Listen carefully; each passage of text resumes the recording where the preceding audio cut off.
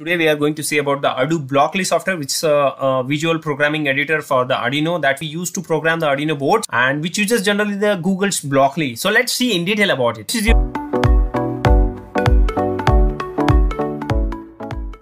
is your, Ardublockly software. Before this we have to download and install this. I will show you that but you remember that when you are using the Arduino Blockly along with that we need to have the Arduino IDE platform 2 installed on your laptop. So both the links have been provided in the comment. You can download both the click on download for Windows.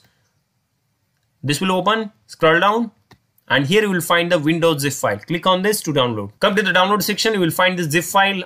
Unzip this.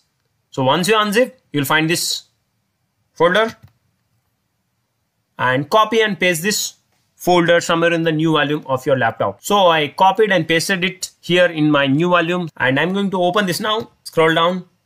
You will find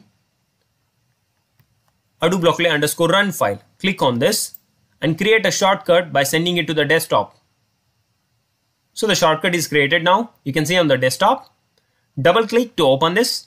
The software is open. Once you open the Ardublockly, then you have to do some settings here go to the preferences. Here you need to copy and paste the path of the Arduino IDE that you will get in the C drive of your laptop. Come to the C drive here in the program files. Click open. You'll find the Arduino.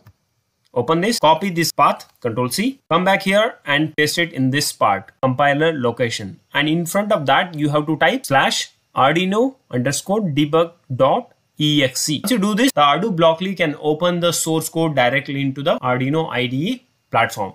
So do this setting and return. Here this is your Ardublockly. You can see that this white color part, this is your canvas where we drag and drop the blocks to create the source code.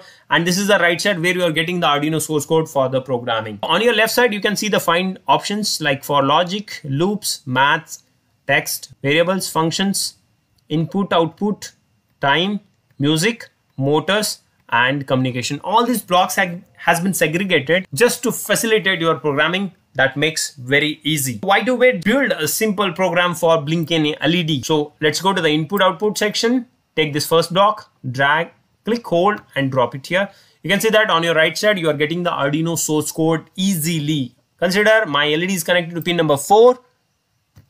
Pin number four, I changed it and high means on. That means the LED is on. So I will decide for how much time it will be on by putting a delay. Go to the time section, take a wait block, and this for 1000 millisecond which is nothing but one second. So i want to make this low now. So i will click on this right click and say duplicate. I can duplicate the blocks and i'll make this low. Similarly for low i will put the delay.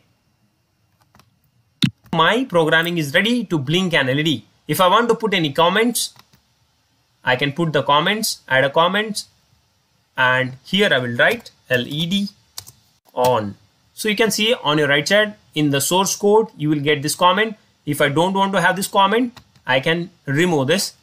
In some case, in your programming, at some point, you don't want to have this block in the source code, but still you want to have it on your canvas. That time you can disable the block, right click, and you can disable the block. At some point of time, if you want to, uh, you want to enable the block, enable this. In some cases, if you don't want to have this set of blocks, you can delete by click hold and put them in the dustbin. They will get deleted. This is now the code is ready. We want to take this code from here to the arduino ide there are two methods. One is click on this option.